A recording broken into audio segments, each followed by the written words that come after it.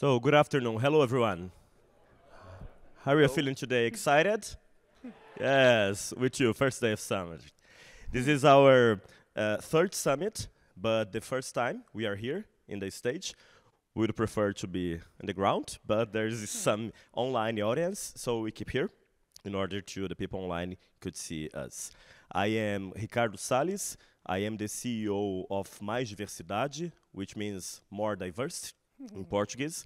We are the biggest diversity and inclusion consultants in Latin America, working for many big companies in Brazil and also across the region in s- countries such as Peru, Colombia, Argentina, Chile, Costa Rica, Mexico, and another ones.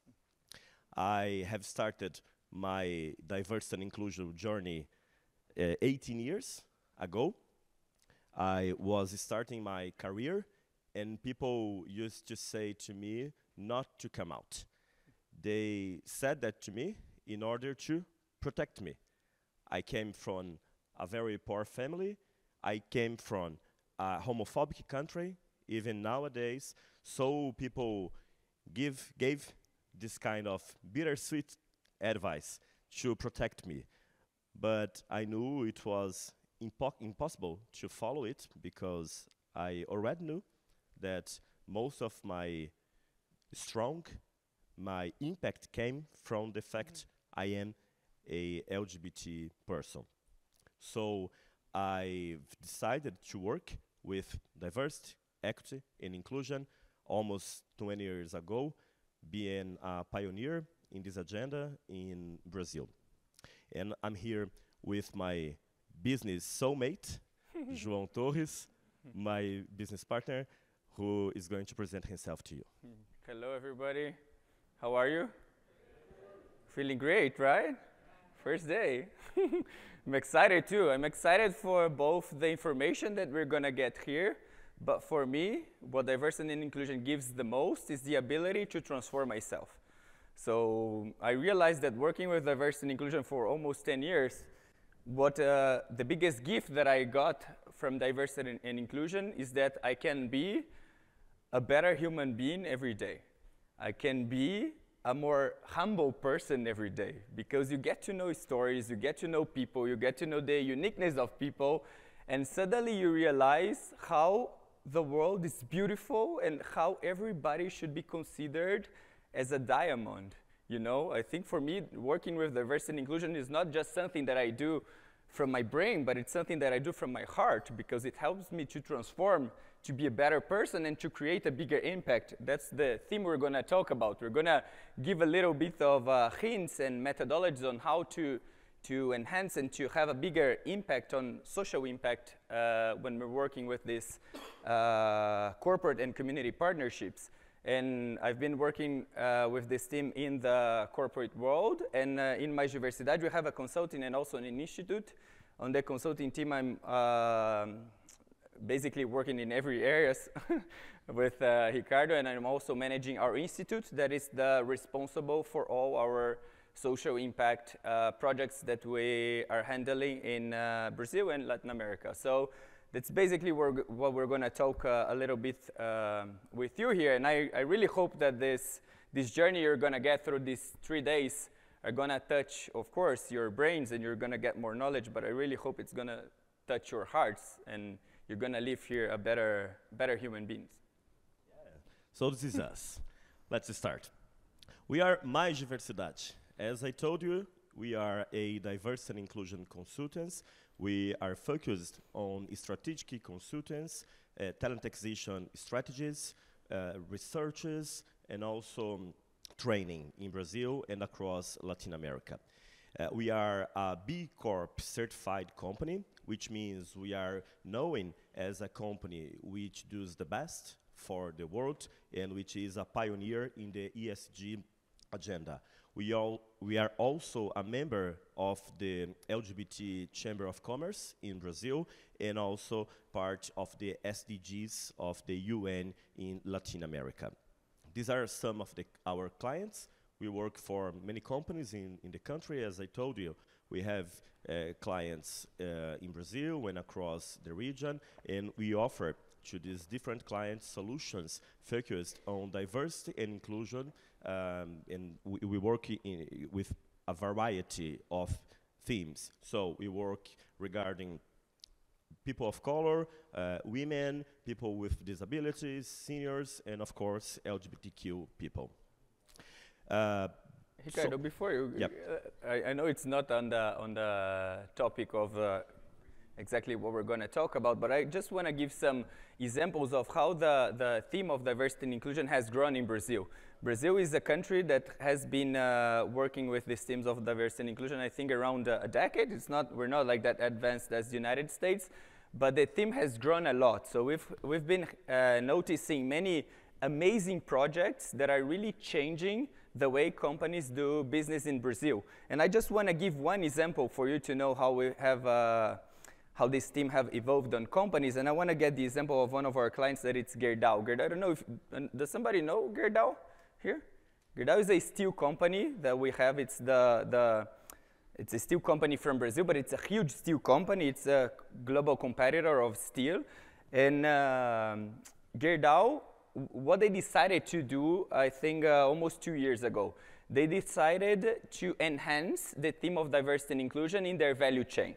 So basically what they do, what they did is they look at their uh, supply uh, chain and they started a negotiation with their suppliers to make sure that their practices, their policies are also aligned with uh, all the diversity and inclusion discussions that they uh, have been having uh, so far. And uh, what they did, Gerdau created a huge uh, program on uh, education for, for its suppliers so they can know what is a diversity and inclusion program, what do I need to do if I want to be a more diverse and inclusive company? How, like for example, they created this, this uh, training platform uh, with us. We helped them to create this training platform for their suppliers, helping them to understand how can I create a strategy of diversity and inclusion, for example. How do I structure a governance uh, on diversity and inclusion? How do I uh, measure uh, diversity and inclusion? What KPIs do I have for diverse, diverse, diversity and inclusion? What is the methodology for uh, calculating, for example, goals of diversity and inclusion? If I want to have more women, more black people, how do I calculate this? What are achievable goals and how do I uh, follow up on these goals? How do I make management on it?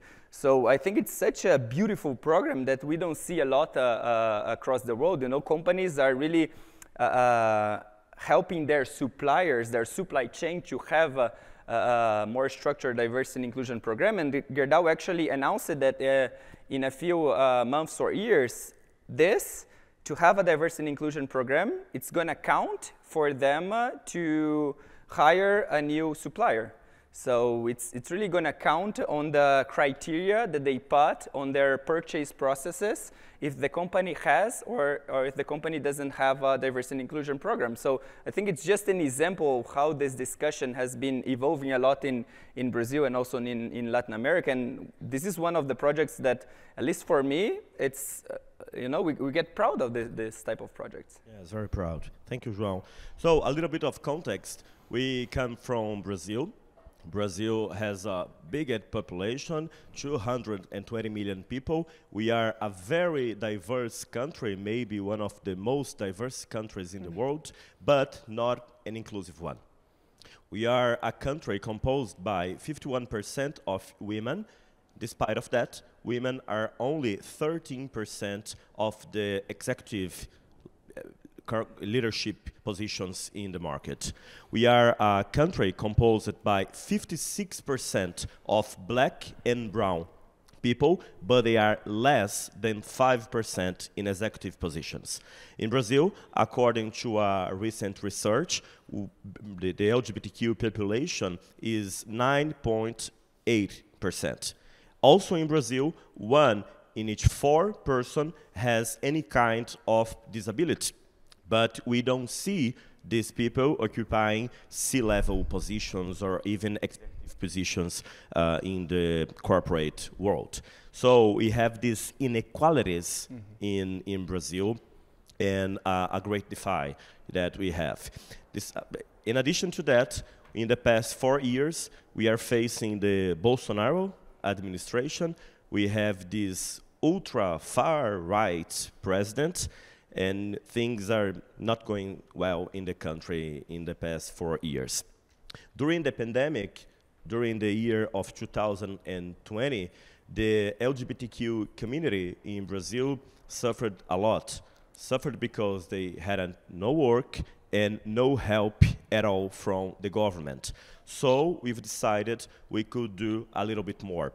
So, besides the Mais Diversidade consultants we have just introduced to you, we founded two years ago the Mais Diversidade Institute, which is our social initiative. So our work in the consultants is focused, as I told before, in women, people of color, LGBTQ, people with disabilities, seniors, etc.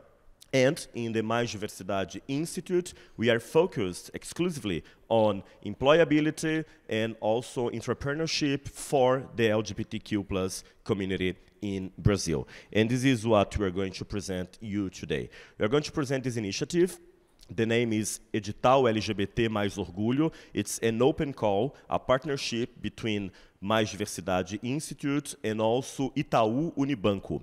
Itaú uh, is the biggest bank in Latin America, a great partner of us in the country, and this initiative uh, is focused on helping different projects from the LGBTQ community in the five different regions of the country, of Brazil. So this is uh, Itaú, as I told you. And before starting, we're going to see a, a video from Daniela Zen, which is the representative of Itaú. You have the sound. Com vocês, meu nome é Daniela Zen, eu sou da área de programas institucionais do Banco Itaú. É, hoje vocês vão conhecer um pouquinho de um projeto muito especial para o banco, que é o projeto Edital LGBT Orgulho Mais. Ele já vai para sua quinta edição, sempre com muito sucesso, sempre bate recorde de inscrições. É, acho que é importante dizer que a temática de diversidade, considerando todas as suas transversalidades, é muito importante e sensível para o banco. Esse projeto faz parte dessa agenda de diversidade é um projeto que visa incentivar é, o empreendedorismo, a geração de renda e dar visibilidade para as pessoas LGBT+. Então, vocês vão conhecer esse projeto hoje. Eu desejo que o, que o evento, que a discussão seja ótima. E a ideia é compartilhar com vocês os aprendizados e ouvir, né? Quem sabe a gente sai daí com, com mais insumos para aprimorar cada vez mais esse projeto tão especial. Um ótimo evento para vocês uma ótima discussão. So what we're going to present uh, here now is basically the methodology that we've been using to enhance this uh, social impact for the LGBTI population. And uh, this open call that we've been doing with Itaú, it has been happening for uh, we're going to our fifth edition right now, so it's like almost five years of a uh, project. So we have some good benchmarks on what worked there in Brazil, what didn't work, how can we uh, enhance this social impact. So that this is basically what we're gonna uh, share with you today. But just a little bit of context that here, Ricardo told that the scope of our institute is basically to find uh, more and to create uh, uh, more job opportunities for LGBT population and also entrepreneurship opportunities. So the focus of our institute is to the LGBT community and uh, on the workplace environment. Doesn't matter if it's uh, for getting like a formal job in a company or for the person to open its own uh, on job or for the person to create something like a new community that's going to generate income for this community. Like our object, our objective is to help the LGBT population to get uh, income and to be uh, empowered in their uh, workplace. So just a little uh, context. And we did recent research on the entrepreneurship uh, scenario of uh, Brazil in, with partnership with Itaú too. And uh, we found out that the, the main challenges that were pointed by LGBT entrepreneurs in Brazil was basically the lack of investment and uh, the lack of networking between them. And something very interesting that we found also was that it's pointed on the third point right there is that these entrepreneurs, they usually hire other LGBT people for their businesses. So on this, we did like a, a, a national wild research with many, many uh, entrepreneurs, LGBT entrepreneurs in Brazil, and we figured out that 82.76% of these LGBT uh, plus entrepreneurs, they actively look for other LGBT people to hire them and to give them job opportunities, so which for us was, was something very interesting because if we create this network between these entrepreneurs, like we can uh, also strengthen the, the employability of these people. And uh, this is a little bit of the numbers that we have in this program. So as I told you, we've been working with this program for almost five years. And uh, we've had, uh, it, it's an open call. So we, we, create this open call and people can subscribe uh, projects for us. So we had like uh, almost 2,300 projects that were uh, uh, submitted for evaluation. And uh, until today, we had 35 projects that were sponsored all over Brazil. And we really mean all over Brazil. So we have projects in all the regions, all the states. We have uh, many projects that are inside the rainforest in Brazil. So we have a very interesting project that is, uh, the focus is for empowering uh, on entrepreneurship opportunities for black trans uh, women inside the rainforest. So they're beautiful projects that we, we, we are helping them to succeed. And basically what we do with this project is we have uh, this selection process and then we follow up with them for the next 12 months, both giving uh, advices and methodology on how to create a better a better project, a better business on that. So we help them on uh, giving them financial support, uh, legal support, uh, project management support, and also money. So Itaú, as Ricardo told, is the biggest bank of Latin America, so they also help us on having this money so we can find, uh, uh, put more money into this project so they can have continuity and, and grow and grow and grow. And uh, until today, we have uh, over 5,000 people that were uh, benefited directly and indirectly through this, this project. So we're going to give you some examples. We created a video, but what we want to discuss with you is basically like the methodology. What, what did well, what worked, and when we were uh, creating this presentation, we tried to create something that you could use as a benchmark, you know, if you want to create also, uh, uh, if you want to enhance social impact projects in wherever you live, so you could also benefit from this uh, methodology. And this is the question we want to answer today. How do we promote this impact? So we put a few steps here that we want to follow up with you. The first one that we put here is this partnership between two complementary organizations. So Itaú is a bank, so a bank has money and they have uh, many knowledge that we can also get from them. So we partnership with them in our institute our institute entered with all this uh, project management uh, uh, methodology with the projects, and Itaú helped us with all this, this contact, all the, the money, and all the, the, the, the, the, the spotlight on the projects because they have a big visibility in Brazil, so it was easier to get projects when we were using Itaú's uh, platform. So when we do this partnership between two organizations that are complementary, it helps us a lot. We also, everywhere we go on uh, diversity and inclusion uh, uh, events, we hear that uh, there is no competition on diversity and inclusion, and we saw that it, it's really true. You know, you can get together with your competitors, with other organizations, with uh, uh, other companies that are competitors to create a bigger social impact, and it, it really helps. So the more institutions you can put together to create a unique result in the end, the better. So this is our first uh, uh, hint that we wanna we wanna present to you today.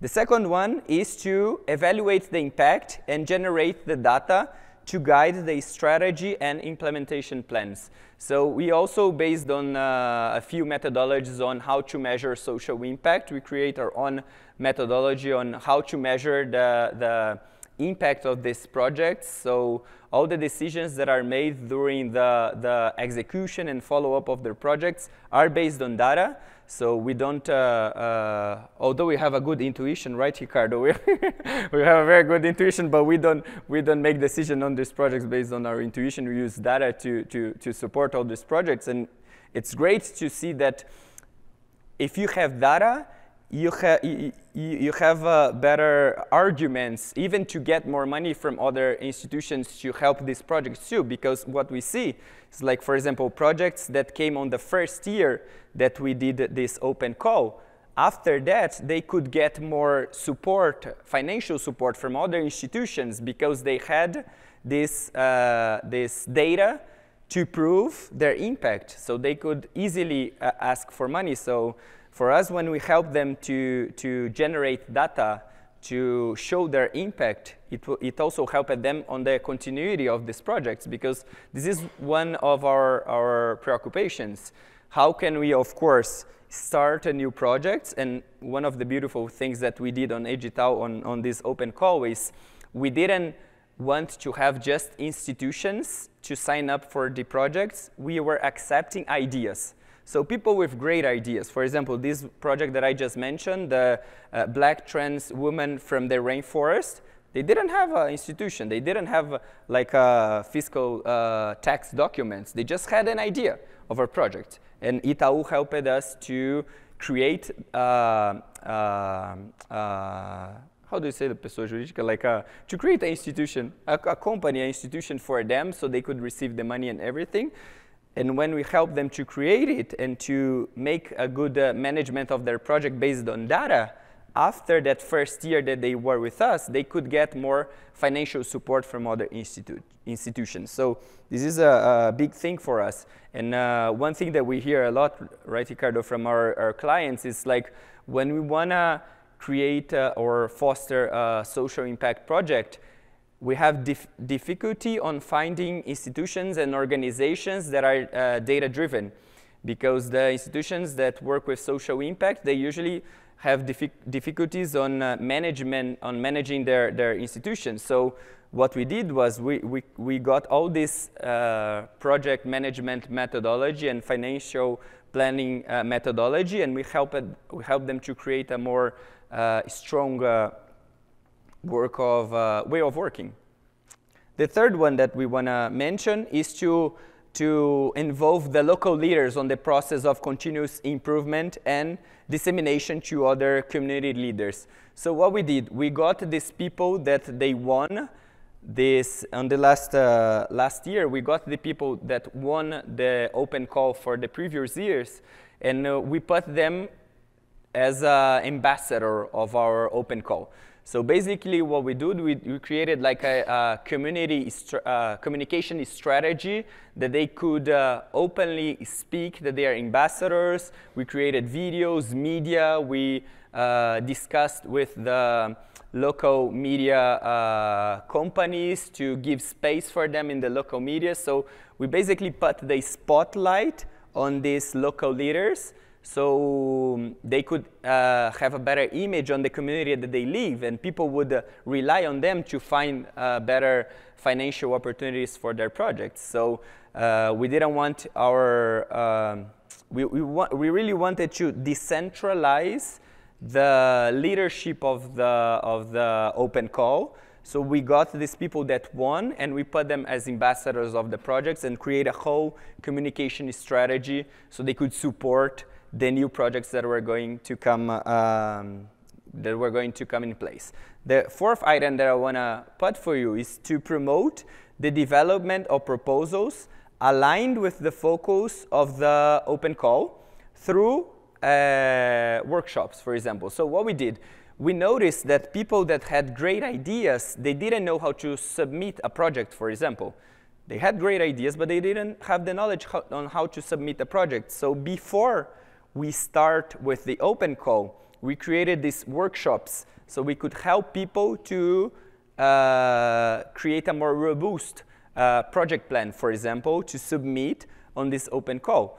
And uh, it was very interesting because we put, uh, we created like rounds of, uh, of uh, networking, we created rounds of, of acknowledgement for the, the, the people that wanted to submit ideas. And we noticed that the ideas that came as a result of that was, were ideas that were very robust. So they were very well aligned with what we expected from. So we decided to start this phase of education before the open call. So we were going to educate on them on how to create a good uh, uh, idea that was completely aligned with the focus of the open call.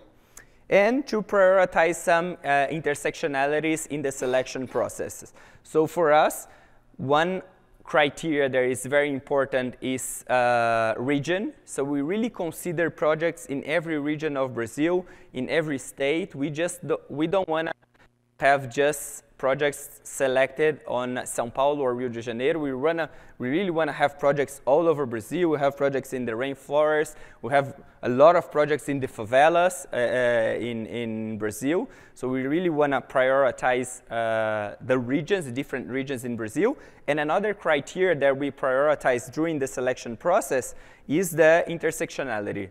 So we see, okay, this, is a, uh, this looks like a good project, but let's analyze it through the intersectional, uh, intersectionality uh, lens. For example, this, this one that I mentioned of, of, the trans black women in the rainforest is perfect because it has all the, the criteria that we want to, to, to find on a good project because we know that also these projects are the ones that receive less uh, financial support from other institutions. So we, wanna, we want this to be a, a, criteria. So we put race and ethnicity as a plus when we are analyzing the projects. We put uh, uh, uh gender, we put people with disability, people who are 50 plus, and refugees also as a criteria to receive more points and to be more well uh, evaluated uh, on the selection process. The sixth item that I want to put is to involve in the selection process employees, of course, from, from both organizations or for all the organizations that are working with, and other representatives of civil society. So we have uh, on the selection process, uh, the last uh, moment of the selection process is um, uh, a banca avaliadora, like a, a committee, a, a committee that is constituted by the people that represent the civil society, people from the, the LGBT movement. So we really want to uh, make this process a participative process with people that represent the civil society and they are fighting for LGBT rights. So we can have a, a really robust selection on this process.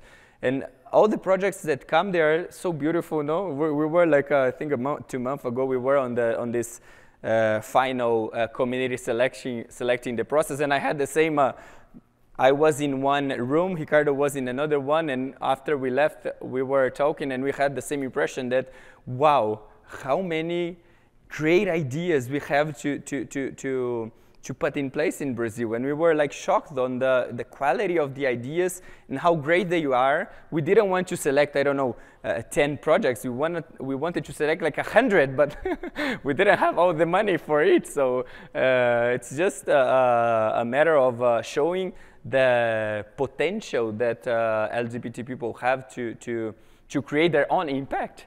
They just need sometimes uh, uh, an opportunity to do so. I'd just like to add that this initiative is very important right now in Brazil because of the Bolsonaro administration. For the past four years, there's no money coming from public policies for LGBTQ people in Brazil. Four years without any money for LGBTQ policies.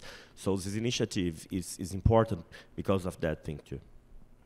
Yes, and uh, as Ricardo said, many initiatives were lost. Like, for example, the, when uh, uh, Bolsonaro was just uh, elected and he cut all the money for, for projects for LGBT people, we received many projects for LGBT artists, no, for, for art.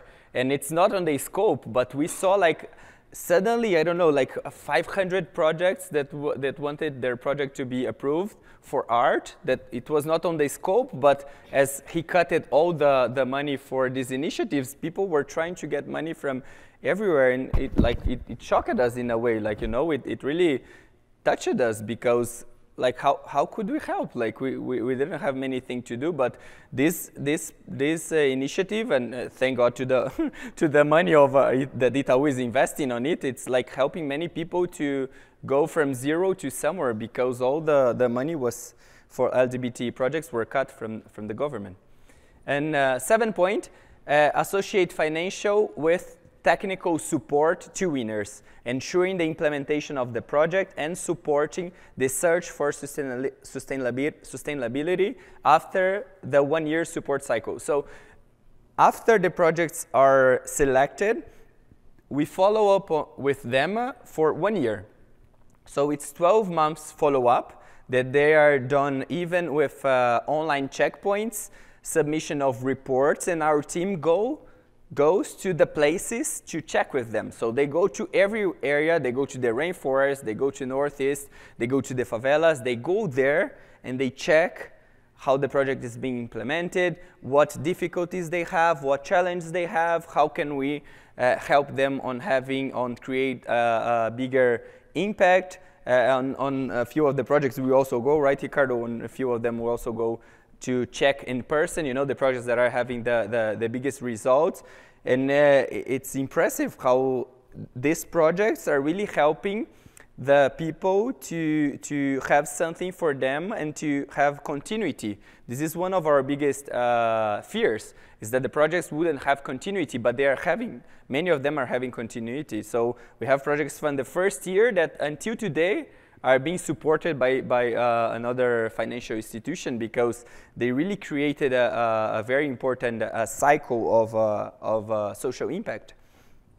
Promote networking with organization at different levels of maturity so they can exchange knowledge and support each other. This is very, very important. This is one of the most, I don't know, it's, it's one of the, the, the, the, the things that people like the most, you know, when they have these networking opportunities with other leaders of projects, with other organizations, with other companies, with other institutions, with people from uh, who are fighting for, for LGBT rights, you know, when we create these networking opportunities so they can know each other, they can create more value when they're together. This is one of the things that, uh, that uh, creates the most value for the people who participate in the project, to actively promote networking opportunities for everybody who is involved.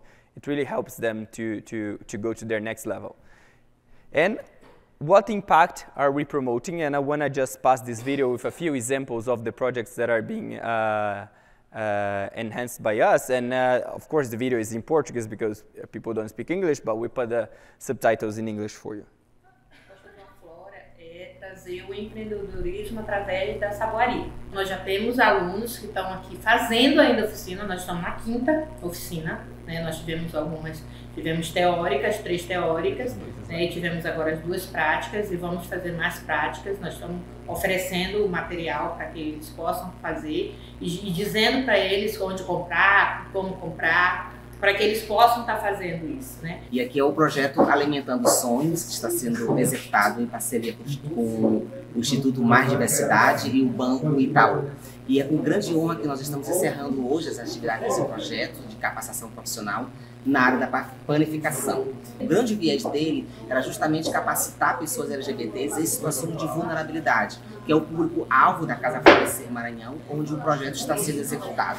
O Pachó, ele na verdade foi sendo pensado aos poucos, né? Como a gente sabia que aqui é um lugar de, que tem uma demanda grande, porque Cachoeira né, é esse território, é esse contexto que a gente tem muito afro-baiano, né, onde a gente tem a religiosidade de matriz africana muito presente.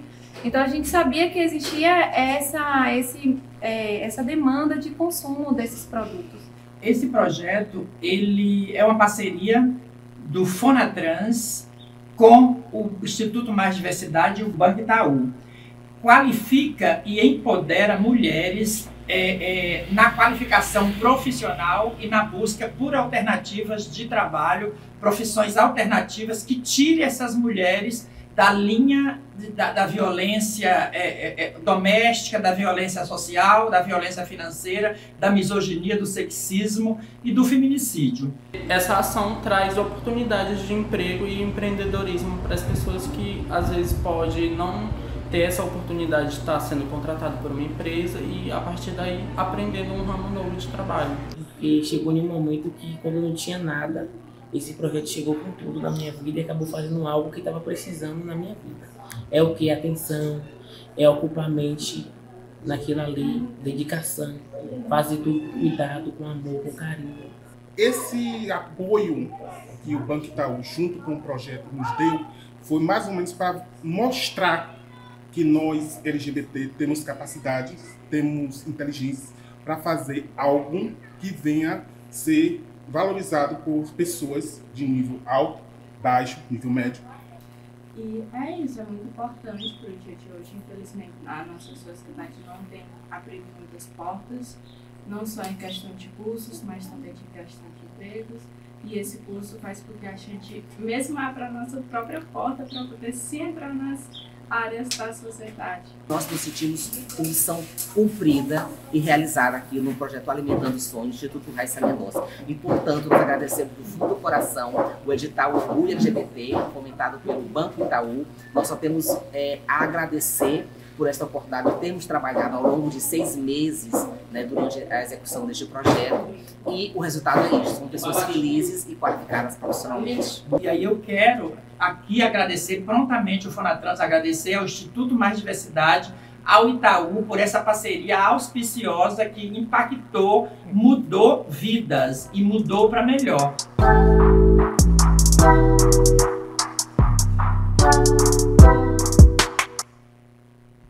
Just a little bit of context. This last woman who spoke, her name is Jovanna Baby, and she's a historical activist in Brazil. For us, she's like Marsha P. Johnson. You know, she's she's fighting since the, the 70s in Brazil. So they are very involved person with the community.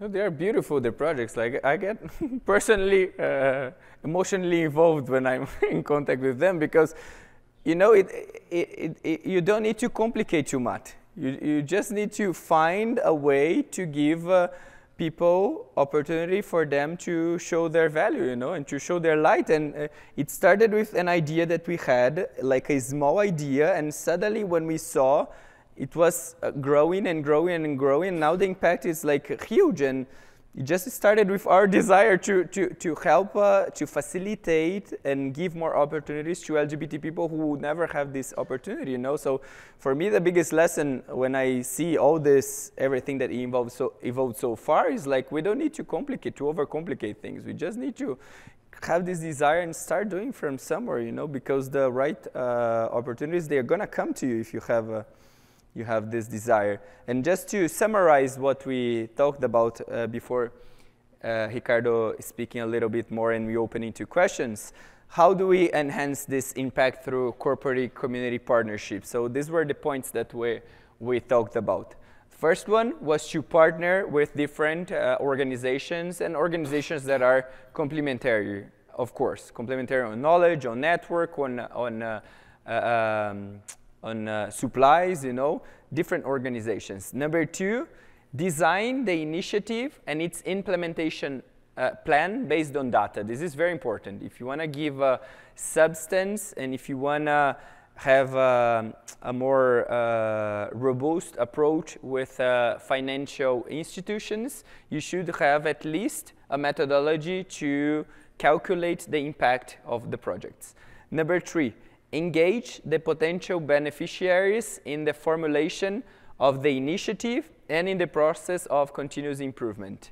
And uh, it's also connected with the, the number four, that it support potential beneficiaries to see the value of all the initiative and engaging on it. So basically, what uh, this, this uh, initiatives talk about is to put the spotlight on the leaders of these projects, on the leaders of the regions, of the leaders of community, so we can empower them and give them voice so other people will feel inspired by them. Number five, for the selection process, establish criteria to prioritize beneficiaries, beneficiaries based on the data collected. So also based on data and what we talked about is to, to, um, to observe also the, the criteria of uh, intersectionality, regionality, you know, to, to go to the criteria that are more difficult for people to get uh, fi uh, fi finance from, to get money from. Number six, for the selection process, involve other important actors on the evaluation phases to guarantee its credibility. It's very important, at least on the final phase, to involve people from the LGBT movements from your region, from your country, so you can have more, uh, more uh, robust decision making. Uh, number seven, match financial to technical support to ensure the maximum impact on the initiative. This is what we were talking about on the follow-up of the projects, you know, to have this consistent follow-up on them and to help them with this methodology of uh, uh, project and business management for their projects. Number eight, keep in mind that facilitating connection and networking among beneficiaries has the potential to amplify the impact of the initiative. Yes, it's what we were talking about uh, networking. So creating this networking facilitating, proactively facilitating these networking opportunities for everybody who is involved will help them also to go to their next level because they will create a, um, bondage between them and also find other opportunities to be together. And number nine, evaluate the results and measure the impact of the program to ensure the continuous improvement. It's very important to have this methodology of, uh, of uh, measurement of uh, impact. So we have we have another initiatives under the umbrella of Mais Diversidade Institute, and I'm going to show you some of them. The first one is Cozinha e Voz. It is kitchen and voice. It is a mm-hmm. project focused on forming trans people to work in restaurant kitchens. So yeah, we are helping them to be chef's assistant. We have formed more than 300 people in the past two years. And our challenge is to connect these people with the biggest restaurants in Brazil in order to increase the employability of them. We have this project that is a project from our heart, that is uh, an intersectionality project connecting LGBTQ plus and also uh, the question of generations, age. We know that most of the LGBTQ people who are today in their 60s, 70s, they, I could say, they couldn't enjoy this diversity and inclusion boom. When they were in the corporate world, there was only prejudice. So we have this idea to help uh, 50 plus LGBTQ people in the country to become entrepreneur as well. Uh, this year, we launched the first HRC index in Brazil. You guys know it for many, many, many decades in the US. So we launched that initiative this year in June in Brazil in partnership with Human Rights Campaign. This was the first Equidade Brasil just like you guys do in the US and in some countries of Latin America. And last but not least, uh, as I told you, we are facing a far-right government in Brazil right now.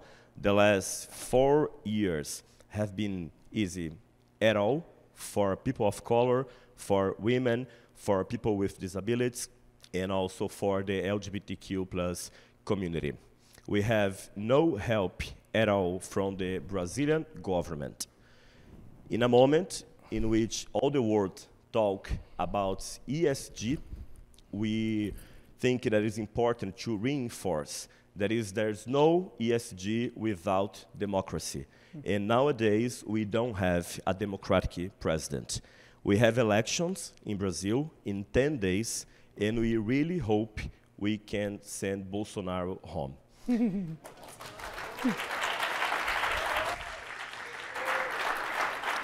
in that direction, in that direction, we launched last month in partnership with Out and Equal and also uh, Fórum de Empresas e Direitos LGBT. It is an organization that reunited 150 companies in the country. We launched these open letters to the presidential candidates uh, in which they would say they are for the LGBT rights. You can imagine who signed it and who hasn't signed that.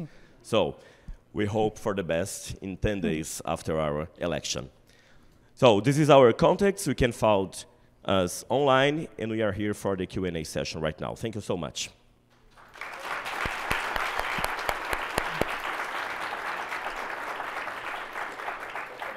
Certo. Um, do you have any questions for our speakers today? Any comment, maybe? Any idea? Any thoughts? Please feel free to share with Any joke? y'all. of course. Thank you so much. This has been incredible. Um, so you said that after the first round, when they pair with the bank, who does the financial backing, how do you find the next group of people in year two to help financially support these projects after they've been through the first year of benchmarking? You mean the first uh, projects that were Yeah. So you said that like the first, you select these projects Yeah. to go forward, and you pair them with the bank Yeah. to to do the financial support and the backing there. And then because of the lessons that they've learned through this first year, oftentimes they'll find additional financial supporters. Um, how do you help connect those successful projects with the second round of financial support after they've had the first round with the partnership that you've set up? Good. Uh, actually, on the first year, something very interesting happened because there was a there were a few projects that the bank uh, Itaú really liked it, so the the bank gave more money to to this project for the the con- continuity of them. But I want to stress the importance of the networking item that we put there. You know, because we don't. Uh, uh, we partner with other companies, but we also partner with some uh, organizations like the United Nations, the ILO, the United, the International Labor Organization. So we try to uh, uh, make these networking sessions also with other uh, organizations. So when they're doing these uh, networking opportunities, they also can find this this other support uh, opportunities, you know. But uh, what we realized is that the projects that had uh, the biggest impact, they could uh, show their impact based on the methodology or in some other way.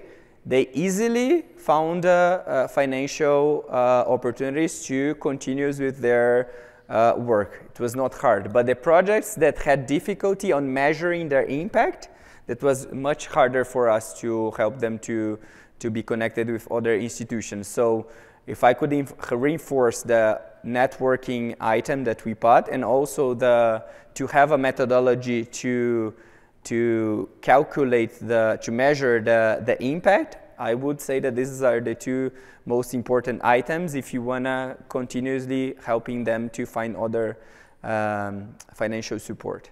Yes, and many of the, these projects, they, they are helped by other organizations for Mhm. a year two, a year three. Yeah. So we, we do this first seed, Mm. you know, we gave this first seed, and after that, other companies or institutions can help them. And it's interesting because you reminded me the no this year we we changed the way we put money on them. You know, do you want to talk a little bit about it? Because on the first year, what we did, we had uh, uh, we had uh, the same amount of money for edu- every project.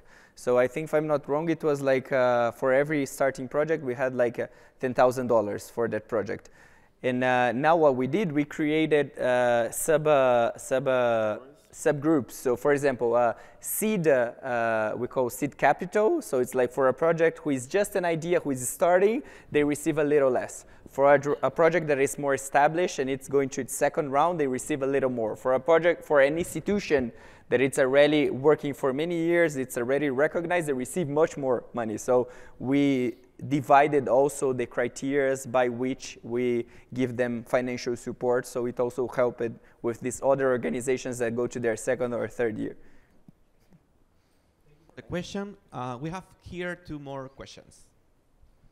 Hi, how did you guys um, source the the projects and how you know what was the process in that? I mean, I you know for us we were just talking. You know, we can see getting the funding, but like getting the projects to get submitted. What kind of um, you know outline did you guys follow to to get that word out about that you guys were doing this For the projects, should Yeah. be Uh, you mean for them to submit the project? Right, right, for the submission. Yeah. Okay, so uh, do you want to talk about the submission process? Okay, so the basically is we have a, a platform that it's a platform for uh, for for open calls. So we have a, this very it's very well-known platform in Brazil. So everybody who wants to submit a project, for example, for an open call, they have like open calls for everything there. So it's a well-known platform that works with uh, many different projects in Brazil. So this platform, it has already a selection process inside. So we put all the criteria that we want. We put all the, like for example, what does the person want to achieve or the results, what the person is going to measure. If you want, the pers person can submit a, a, file, a video, for example, and all the, the selection process is done inside this platform. So we set up the platform exactly on what we are uh, looking for the projects. And as the platform is a platform that it's non-national wild, many people know that if they go there, they will find an open call. But also Itaú has a large visibility. So we use Itaú's uh, social media to also uh, foster and, and, boost this the the the the, the, the search the, the, the how, how the project, yeah, how, how the people will see this project. And as João told you, in the first year, we received many, many kinds of projects. So since the last year, we decided to focus on entrepreneurship, generation, income generation, and also employability. Mm -hmm. So uh, because was, in the country, we would receive more than a thousand pro cultural projects, sports projects, mm -hmm. and we, we don't have funding to that. And one thing important is the workshops that we did also before the subscription. So before opening the open call, we created many workshops for the people who were interested on the open call. So we told them about the selection process, what would be measured, and we taught them how to fill up the form and how to, to go through every process of the selection process. So it also helped for people to go with a, a strong project to that, you know. Yes, thank you. Um, guys, incredible project, and thank you so much for your work. This is really, I'm sure, quite a quite a game changer for all the organizations that you're assisting. Um, two questions. One is the importance of data. How do you measure social impact? Which metrics specifically are people using, or which do you find to be the most compelling in um, in the evaluation of, the, of the projects? And second, um, do you know of other organizations similar to yours in other parts of the world? Uh, okay, let me start with the first one. So the, fir the first one, what we did, I, am not sure if I can give uh, uh, details now, but I can get your contact and give after because what we did, we researched, our team of the Institute, we researched many uh, methodologies on how to measure social impact. And based on our reality, we created our own. So we have this uh, unique methodology that we've been using for all the, the projects, not just the open call, but we use for the other projects, you know, the Cozinha Voz, the other projects that Ricardo uh, passed on the end. We also use this methodology to help them to, to show their, their value. I'm not sure if I can give you much details because we did like a, a, a collection of everything and that's what we use, but you can get my contact and I can uh, send you after. And about the second question, do you know any other we're going yeah. You mean, you mean in Brazil or across the world? No, not.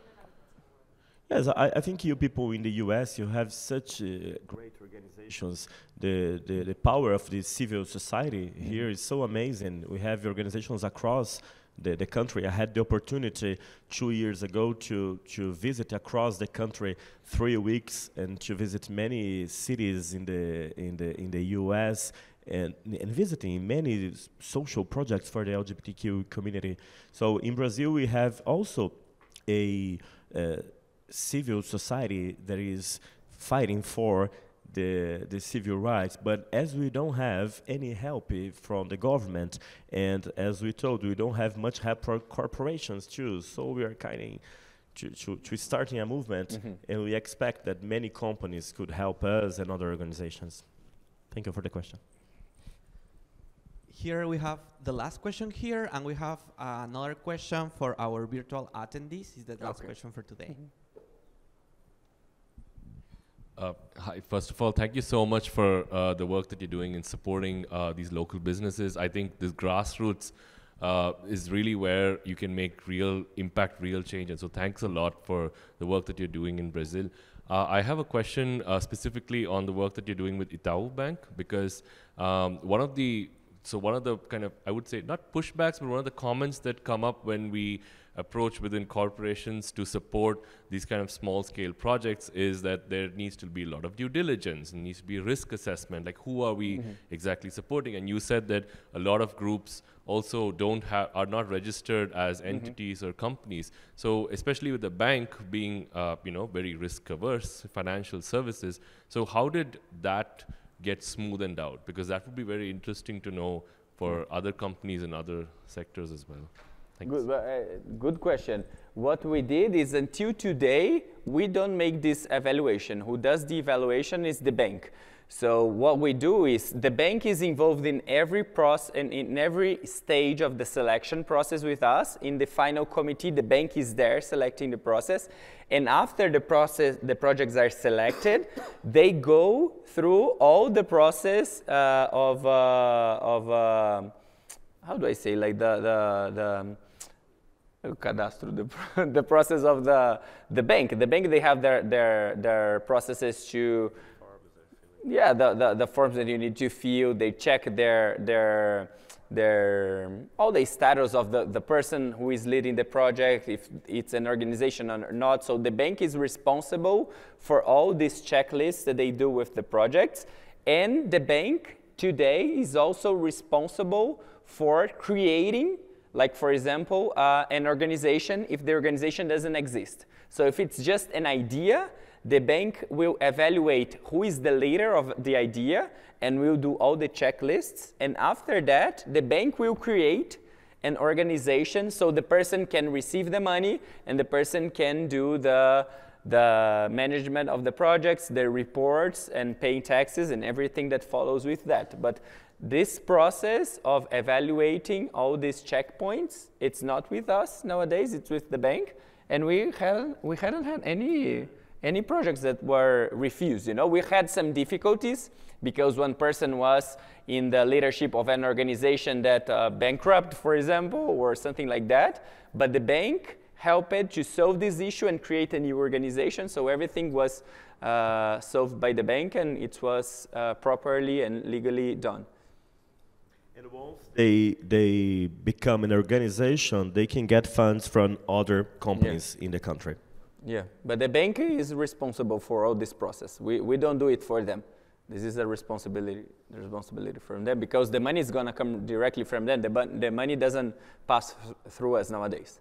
They're responsible for the management of of uh, of sending this income to the organizations. Thank you. And we have our last question for our wonderful virtual attendees. The question is, um, can you shed more light on what topics, hot issues Diversidade tackled with local LGBTQ plus groups? More hot topics? That yes. That we're having nowadays? what do you think? Fala aí, os tópicos quentes hoje de fala. I think intersectionality is a hot topic, right? Because we we have done a lot in the past 20 years in the U.S. and even in Brazil in the corporate world, and but it's not fair if the only beneficiaries of these initiatives, these corporate initiatives, are only uh, white, gay, and lesbian people. So intersectionality, I guess, is the, the hottest topic in this agenda. We must talk about senior LGBTQ people. We must talk much more about transgender rights, about people of color who are also LGBT, people with disabilities with uh, are LGBT. You? And we can talk about love. Yeah. We never had this opportunity before. You know, I just created a lecture for a consultancy called uh, The Revolution of Love, you know, because we never had the opportunity to talk about love inside the companies. And now we have. People are open to love each other, you know, it's like impressive. Love can solve every issue. So we're having many great, uh, yeah. we're having, We're having many great uh, examples of how these hot topics are coming up, but for me, love is, is the one that we need to, to reinforce the most. And for me, I love it to be here with all of you. I hope you love to be here with us, and I hope we can expand our capacity to love day by day because this is what's going to change our society and our world. I love you. That's brilliant because maybe we are the only movement Mhm. in the world who fights for the right to love. Exactly. That's it. That's us, the LGBTQ plus movement. This Love you. it. Love you guys. Thank you.